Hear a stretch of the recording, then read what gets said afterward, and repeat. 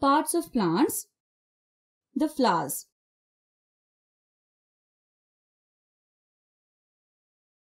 What are flowers for? They make the plant look pretty, but they have a job to do too. The flower is a part of the plant that helps in reproduction. It starts from a bud and slowly turns into a fruit. The fruit contains seeds and from the seeds we get new plants. So, the flower is a part of the plant that helps in reproduction. You must have seen seeds in the fruits that you eat. The flower is the most attractive part of the plant. Flowers come in many shapes, sizes and colors. The brightest petals of the flower attract insects. The sweet smell and nectar attract them too. Flowers have pollen on them. To make fruits, the pollen has to be taken from one part of the flower to another. The insects help to carry pollens from one flower to another. The pollen sticks to them and travels to other flowers with them. Once that is done, the flower can start turning into a fruit. So, flowers are very important. Let us now study the different parts of the flower. The first thing that we notice about a flower are the petals. Different kinds of flowers have petals of different sizes, shapes and colors. All the petals of a flower together have a special name. They are called corolla. Petals are arranged in a circle which is called a whorl. If you look at the flower from below, you will see some green leaf-like things at the base of the flower. These small leaf-like green things are called sepals. All the sepals together are called the calyx. So you know about the sepals and the petals. All the sepals is equal to calyx. All the petals is equal to corolla. When the flower is a bud, all the parts of the flower are inside the calyx. Inside the flower, we see a number of thin, long tubes with yellow pollen at the tips. These thin tubes with pollen are called stamens. The stamens are arranged in a circle.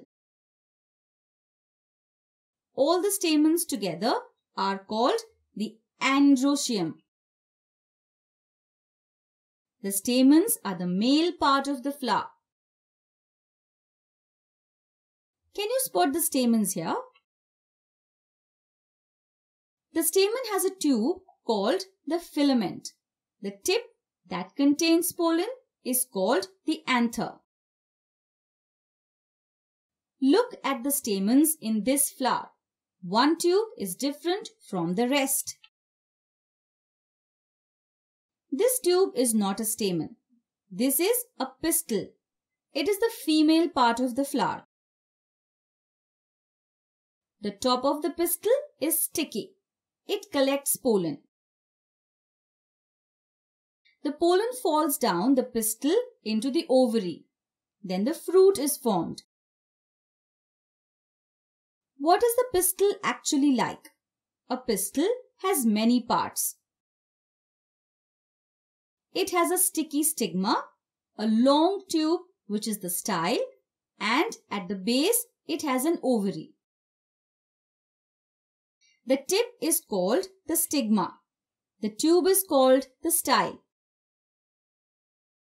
At the base, the ovary contains ovules. the ovary becomes the fruit and the ovules become the seeds. This is the female part of the flower and it is called gynoecium. Can you spot the pistil and stamens?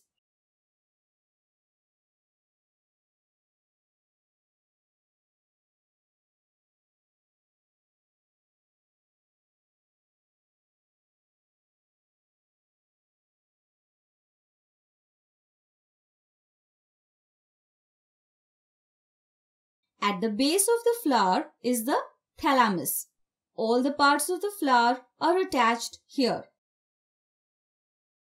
What did we just learn? Flowers help the plant with reproduction. Flowers turn into fruits and fruits have seeds that bear new plants.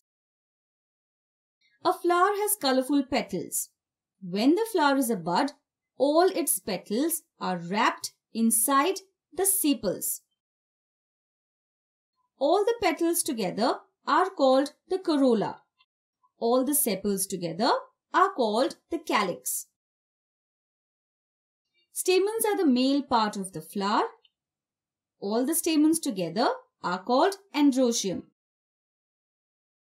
Stamens have pollen at the tip which is called the anther. Stamens have a long tube which is called the filament. Pistils are the female part of the flower. The female part of the flower is called the gynoecium. Pistils have a sticky tip which is called the stigma, a long tube called the style and an ovary and ovules at the base. The pollen falls through the stigma and style to the ovary. The ovary turns into a fruit and ovules become seeds.